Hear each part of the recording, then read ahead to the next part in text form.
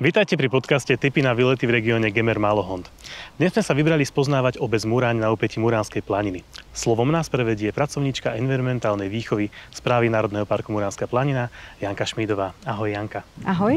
Murán je najznámejším e, východiskovým bodom do Národného parku. E, čo všetko ponúka pre tu našich turistov táto obec a jej okolie? Tak rozhodne treba začať na námestí obce Muráň a ísť si kúpiť muránske buchty, lebo tie sú skvelé a jednoducho nemajú páru. Takže kúpiť si buchty a potom sa rozhodnúť, teda kam pôjdete, kam sa vydáte, na akú túru. Záleží od toho, či ste s malými deťmi, alebo ste s deťmi, ktoré už sú väčšie a dokážu zvládnuť nejakú náročnejšiu trasu turistickú. Keď máte so sebou malé deti, určite by som uh, ich zobrala na Sisľovisko Biele vody. Je to asi 2,5 kilometra od obce Muráň smerom na Prednú horu je lokalita, volá sa teda Biele vody, je to sislovisko, kde je možné vlastne pozorovať sisle z, tak, e, z takej blízkosti, že si doslova hľadíte s tými sisľami z očí do očí. Takže je to naozaj veľmi silný zážitok, nielen teda pre malé deti, ale teda aj pre dospelých. Ale už keď sa tam vyberete s tými deťmi, tak riskujete, že deti nebudete vedieť stadiaľ dostať preč. Sisle sú uh, živočichy, ktoré sú veľmi Eh, veľmi milé na pohľad. A takže keď prídete, donesiete im niečo eh, na posilnenie, slnečnicu, jablčka, nejaké ovocie, mrkvu, tak tie sisle naozaj prídu až, až tesne k vám a dajú sa krmiť z ruky. Takže toto je veľmi silný zážitok, nie len teda pre deti, ale aj, aj pre tých dospelých.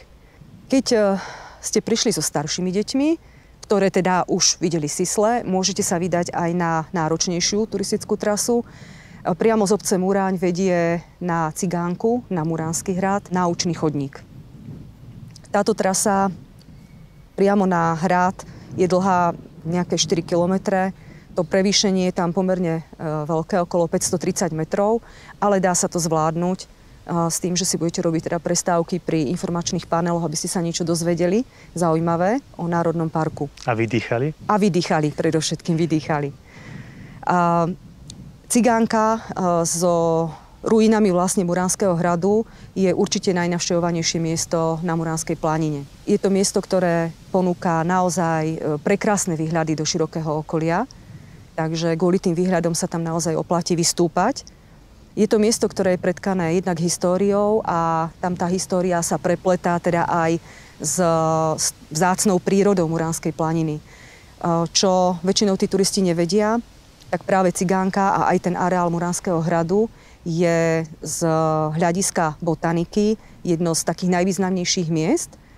Z bolo tam objavených viac ako 350 druhov lišajníkov, čiže je to, je to lokalita, ktorá je z hľadiska lišajníkov ako jedna z najviac e, pestrých lokalít. Čiže taký ako hotspot biodiverzity lišajníkov. Celkové na Muránskej planine bolo objavených okolo e, niečo vyše 600 druhov a tých 350 je práve na tom Muránskom hrade, alebo teda v, na Cigánke, na tom kopci. Takže oplatí sa aj, aj toto si všímať. Tie lišaníky sú väčšinou na stromoch, alebo teda aj na hradných múroch. Väčšinou sú, niektoré teda sú nenápadné, niektoré sú nápadnejšie. Takže už keď tam človek ide, tak uh, odporúčam teda všímať si aj takéto, takéto vzácne veci, ktoré na tej Muránskej planine máme. Keď už návštevník zvládne to prevýšenie pod ten Muránsky hrad, dá sa tam vidieť ešte aj niečo viac v blízkosti? Tak dá sa uh, prejsť, teda náučný chodník uh, končí na Veľkej lúke. Veľká lúka, už podľa toho, že sa volá Veľká lúka, je to naozaj Veľká lúka. V severnom cipe vlastne tejto lúky je žrebčín. Chovajú sa tam kone, uh, ktoré sú známe opäť na celom Slovensku. Sú to noriky muránskeho typu, čiže plemeno, ktoré je vyšľachtené práve tu a aj tým je známa Muránska planina. Kone a Muránska planina jednoducho k sebe patria. Takže toto je takisto lákadlo. Ľudia veľmi často, keď prichádzajú k nám do informačného strediska v Muráni, lebo v Muráni teda máme informačné stredisko, tak sa pýtajú aj na kone. Pýtajú sa na sisle a pýtajú sa na kone, lebo chcú vidieť teda kone. Na Muránskej planine je polodivoký chov koní. Čiže polodivoký to znamená, že kone, ktoré sa tu chovajú, sú počas sezóny vlastne voľne pasené na lúkach a pasienkoch Muránskej planiny. Čiže tieto koníky vlastne, či je pekné počasie alebo je škaredé počasie, musia odolávať teda aj tým poveternostným vplyvom a, a sú teda pasené vonku. Hej? Nie sú v stajniach, nie sú ustajnené.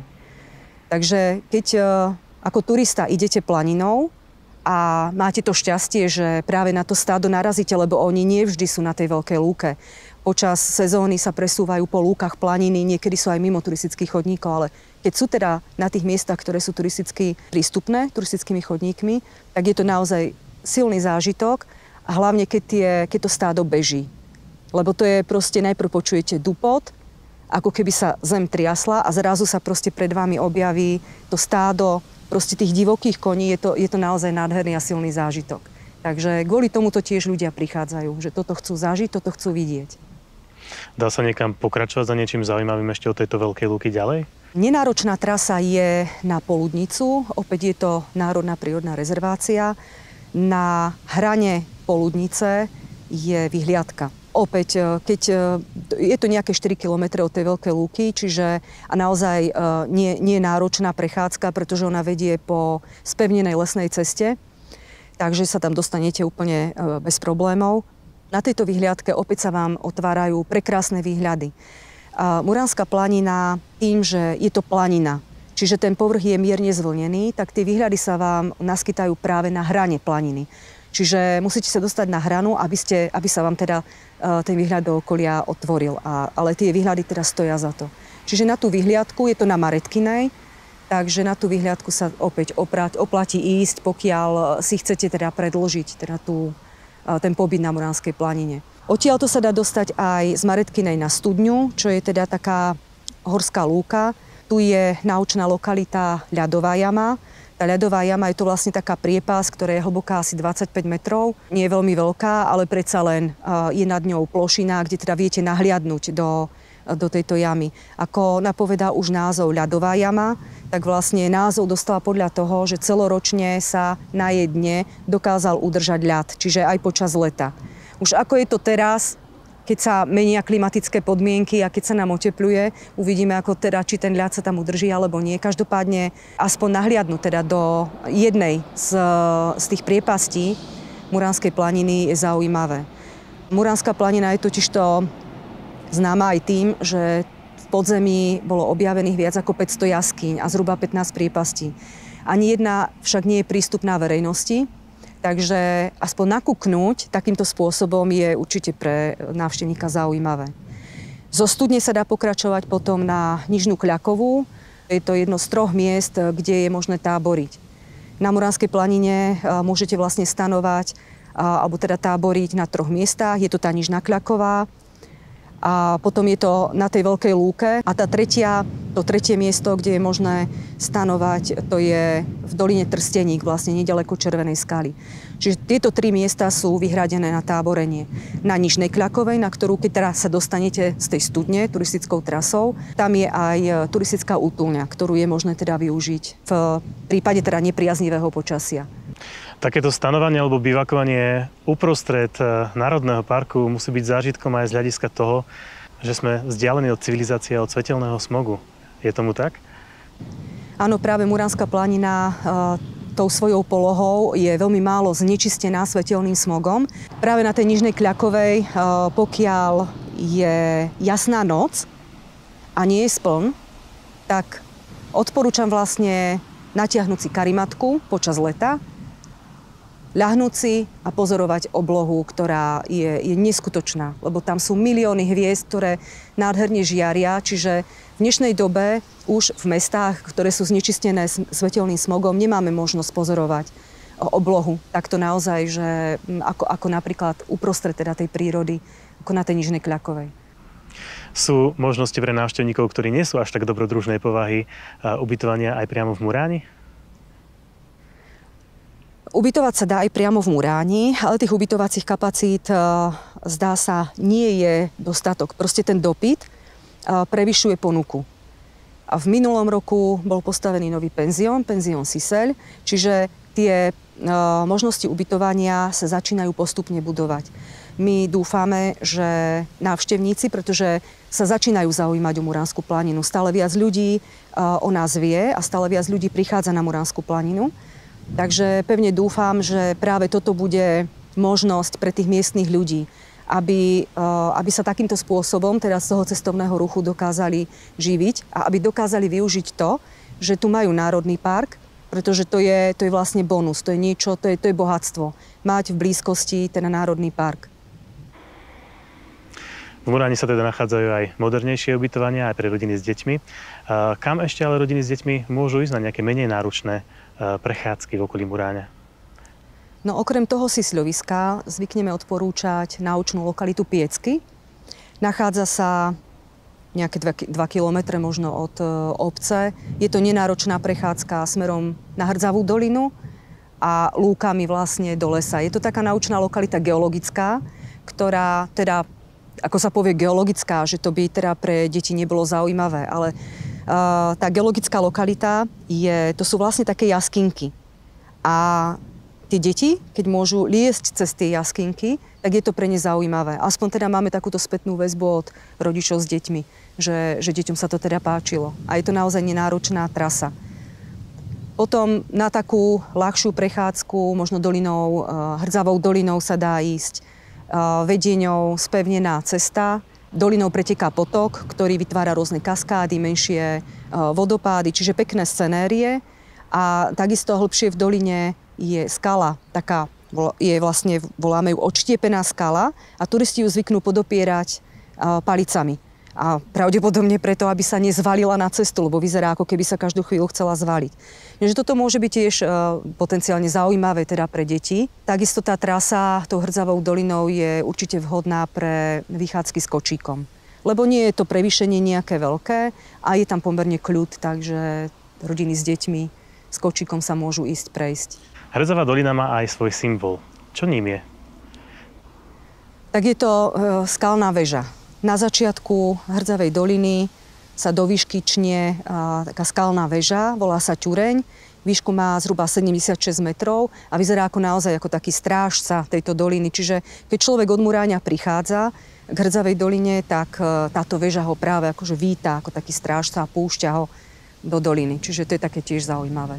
Napravo uh, sú potom, je svah Poludnice, to sú skalné bralá. K Poludnici sa viažu zase povesti, inak e, celý tento kraj je opradený rozprávkami a povestiami. Povesti sa viažu ako k Muránskému hradu, tak teda aj k Poludnici.